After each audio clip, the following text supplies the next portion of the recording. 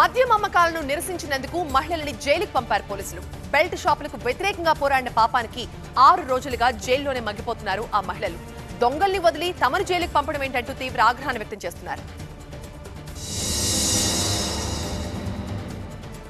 సంగారెడ్డి జిల్లా కొండాపూర్ మండలం మారేపల్లిలో బెల్ట్ దుకాణాలకి వ్యతిరేకంగా ఉద్యమించడమే పాపమైంది ఆ దళిత మహిళలకి.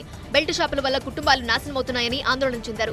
నాలుగు నెలల కాలంలో నలుగురు చనిపోవడంతో తట్టుకోలేకపోయారు. గ్రామంలో మద్యానికి బానిసైన మీసాల నవీన్ అనే వ్యక్తి ఈ నెల పదహారున మృతి చెందాడు. దీంతో మరింత ఆగ్రహం చెందిన దళిత మహిళలు బెల్ట్ షాపులపై దాడికి దిగారు. అంతకుముందే గ్రామంలో మద్యం అమ్మొద్దని తీర్మానం చేశారు. ఆ తీర్మానాన్ని పట్టించుకోకుండా బెల్ట్ షాపులు నడుస్తూ ఉండటం మద్యం తాగి ఓ వ్యక్తి చనిపోవడంతో మహిళల్లో ఆగ్రహం కట్టలు తెంచుకుంది. బెల్ట్ షాపులపై దాడికి దిగారు. ఈ దాడి జరిగిన రెండు రోజులకి బెల్ట్ షాపుల యజమానులు పోలీసులకు ఫిర్యాదు చేశారు. బెల్ట్ షాపుల నిర్వహణపై స్పందించిన పోలీసులు వారి ఫిర్యాదుకు మాత్రం సత్వరమే స్పందించారు. బెల్ట్ షాపుల్లో మద్యం బాటిళ్ళని ధ్వంసం చేశారు అనే ఆరోపణలపై పంతొమ్మిది మందిపై కేసులు పెట్టారు. వీరిలో నలుగురు మహిళలు తొమ్మిది మంది యువకుల్ని రిమాండ్ చేసి జైలుకు పంపారు పోలీసులు. వారి రోజులుగా జైల్లోనే మగ్గుతున్నారు మహిళలు. మహిళల్ని జైలుకు పంపిన పోలీసుల తీరుపై మండిపడుతున్నారు గ్రామస్తులు. పోలీసులు బెల్ట్ షాప్ యజమానులను వదిలి తమపై కేసులు పెట్టడం ఏ న్యాయం అంటూ ప్రశ్నిస్తున్నారు. ఏళ్ళుగా బెల్ట్ దుకాణాలపై ఫిర్యాదు చేసినా పట్టించుకొని పోలీసులు దాడి పేరుతో తమని జైలుకు పంపడంపై ఆగ్రహం చెందుతున్నారు. అయితే పోలీసుల మాట మరోలా ఉంది. చట్టాన్ని చేతుల్లోకి తీసుకున్నందుకే అరెస్ట్ చేశామంటున్నారు.